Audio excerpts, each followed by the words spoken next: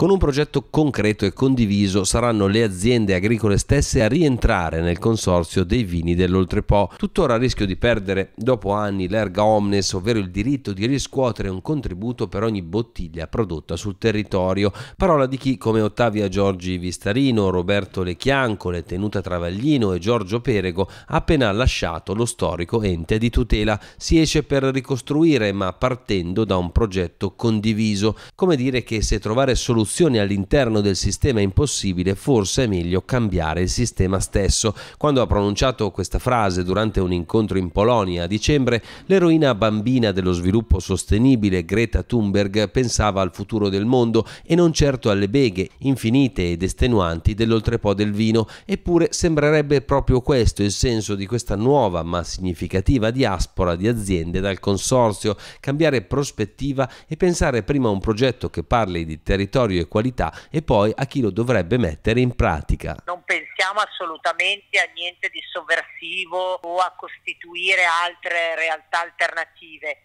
noi crediamo nel lavoro della Regione e crediamo nel lavoro, nelle potenzialità e nella necessità di avere un consorzio che ci rappresenti. Però visto che per tanti anni non ha funzionato, è molto difficile oggi convincere le aziende che tutto cambierà. I produttori per avere dei segnali credibili hanno bisogno di fatti e uno di questi potrebbe essere non chiedere alle aziende di entrare per cambiare le cose, ma prima cambiare le cose e poi entrare. Oggi l'oltrepo pavese è conosciuto solo ed unicamente per il primo prezzo, non esiste nella fascia più alta però sarebbe bello che ci fosse un organo che stimolasse questa crescita qualitativa grazie ai controlli e grazie alla promozione. Eh, la proposta eh, riguarda una piramide di prodotti eh, in cui vengono messi al vertice dei prodotti premium, poi c'è una fascia di mezzo e una fascia base, dove nella linea base si parla di una DOC con un nome differente rispetto alla DOC oltrepo pavese generica che oggi racchiude un po' tutto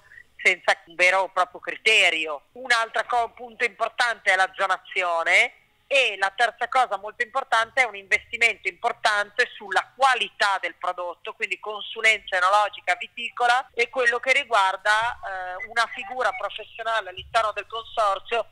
che accetti l'incarico solo dopo aver sposato questo progetto.